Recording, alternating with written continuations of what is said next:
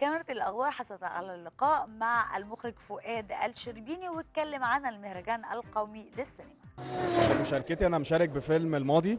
آه، فيلم الماضي بيناقش قضية ما اتكلمتش ناس كتير عليها وهي المشاكل النفسية اللي بتقابل بعض الناس في حياتها آه، لحاجات هم مش ما لهمش يد فيها. بمعنى إيه؟ يعني هو الفيلم بيبتدي إن هو في ولد بيلعب جيتار كده وشاب صغنن وبتاع.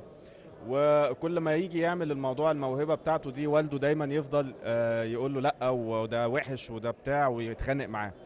ولكن في آخر الفيلم بيتضح إن والده بيتخانق معاه عشان والده عنده مشاكل في الشغل ومش عارف يصرف على الولد منين. فهي المشكلة مش إن الولد وحش لأ ده المشكلة إن الظروف مش. وبعد كده الولد دخل في علاقة عاطفية البنت رفضته. برضه اتعقد من الموضوع. آه، آه، كان بيحاول ينقذ واحد صاحبه آه، لقاه اتوفى.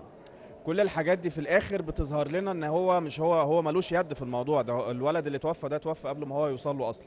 هو فيلم إنساني وعايز يعني أوصل للجمهور إن هو لأ على فكرة أنت مش كل حاجة بتعملها آه، أنت ممكن تبقى لك يد فيها أو إن أنت بتبقى وحش أو لأ. ساعات بتبقى الظروف مش سامحة بس هو ده آه، مشاركتي دي المشاركة ال- للسنة الثانية أنا شاركت في المهرجان ال- اللي هي آخر دورة اللي هي أعتقد كان سنتين تقريبا. آه، كان فيلم الظل. آه، كان بيناقش آه، مشكلة التحرش. ملخصه يعني إن هو واحد بيعاكس بنت وبتاع. في الآخر اكتشف إن هي أخته يعني من كتر ما هو مش مركز في الموضوع.